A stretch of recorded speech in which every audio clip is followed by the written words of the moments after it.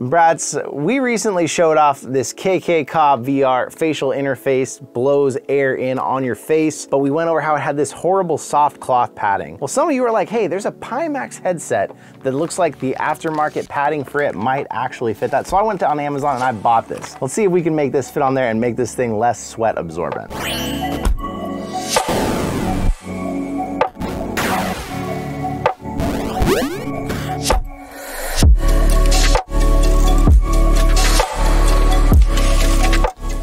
Unboxed. Now I paid 19 bucks for this and it does look like it's gonna be too wide is probably the main problem, but let's check it out.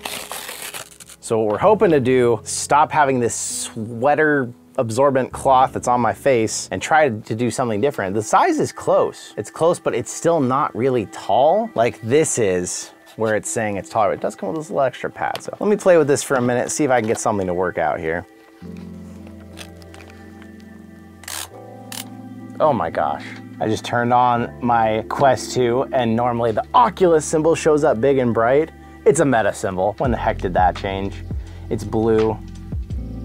No, no, no. Okay, sorry, I got distracted there. You know, I gotta say, this is not terrible. It doesn't look pretty. It sticks off, it's not elegant, but it is pretty dang close to fitting. You could go through the trouble of cutting it. One person told me, one of the person who suggested it, told me that they cut theirs to kind of get to fit, but I mean, that is not bad. It's a harder pad. It doesn't quite feel amazing.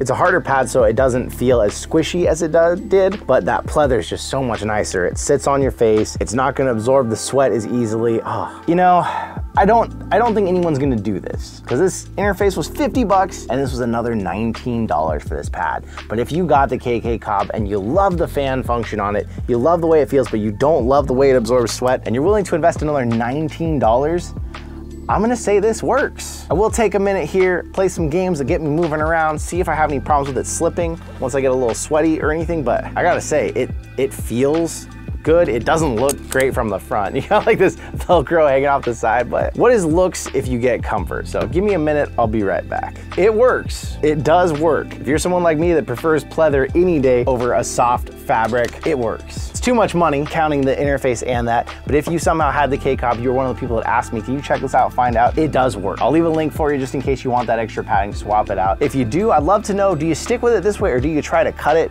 I just worry if you cut it at all, it's gonna let that sweat into the edges and it's gonna get a lot more disgusting a lot more quickly. So yeah, let me know in the comments. I'll see you in another reality.